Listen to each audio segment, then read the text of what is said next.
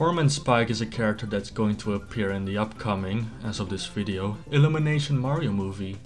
Whack choice, right? Why pick someone who's only appeared in Wrecking Crew? Well, there's more to him than you would expect. Even turned to the good guys in his most latest appearance. Let me explain.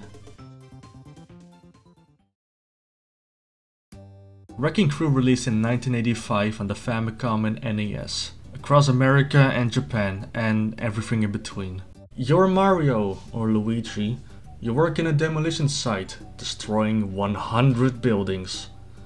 Over the course of your quote-unquote adventure, you get to encounter a ton of enemies. Four. The fireball that appears if you're tardy, Eggplant Man, Gotcha Wrench, and Foreman Spike. Spike also works in the demolition site, but instead of working with the brothers like good co-workers, he sees the brothers as rivals, and he even actively hinders them. What a dick. So anyway, that was the end of Spike for some time. Mario Luigi did their duties, destroying a hundred buildings, and did some stuff, like saving princess stuff.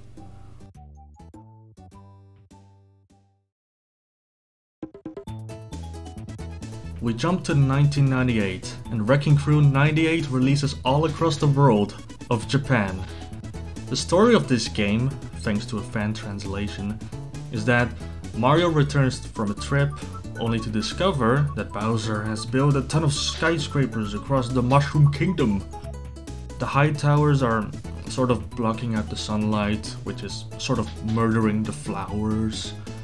And so, going into his house, Mario picks up his magic hammer that he used back in the original Wrecking Crew, and he's off to destroy all of Bowser's buildings. Over the course of his adventure, he meets some old pals, new pals, such as this sentient rice ball. But let's focus on Spike, because he returns here, directly working with Bowser. He seems to have built a grudge towards Mario in between the years, even sees himself as Mario's original rival. But after a round with him, Spike actually enjoyed the whole battling Mario thing. He hadn't had that much fun in a long while. He then tells Mario the location of Bowser's secret base, as promised earlier, so he's also a good sport about it. What a nice guy. During the game, if you demolish all of the buildings, you gotta change the ending where Bowser's basically pissed that he's been used by Spike just to get at Mario. And then Spike is chased away by Bowser and that was the end of, you know, the alliance between this, the turtle and the human. Oh man, was that the end of Spike? Foreman Spike? Famous villain? Well, no. Well, half no. We jump to 2001. Oh my god. 2001. Camelot releases their second Mario Golf game on the Game Boy. That's right, another Japan exclusive game. Can't believe it. One of the unlockable playable characters in this game is... Gosh, surprise, it's Foreman Spike.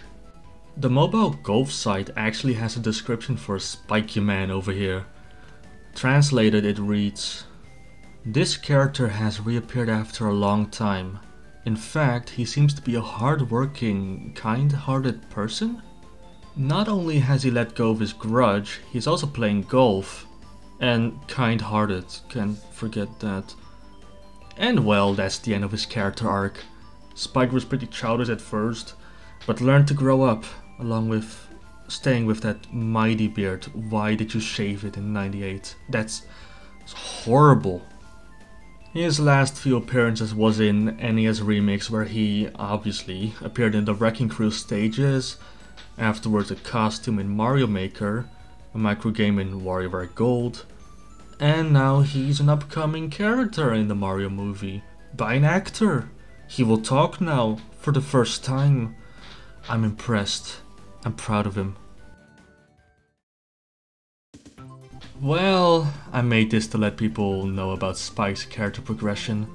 He's not some prototype Waluigi or Waluigi in the past or any kind of Wa. I wonder if the movie will reflect his current character, though going by my own speculation. This might be an origin story, so Spike may just be the dick person. Thanks for watching, and as always, don't fear clunts. What is this promotional art?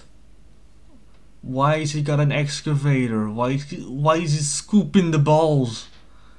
You can't do that. There's too many balls for one hole. You can't you can't scoop them all up. I don't think it's even allowed to have an excavator on the golf track. Don't do that.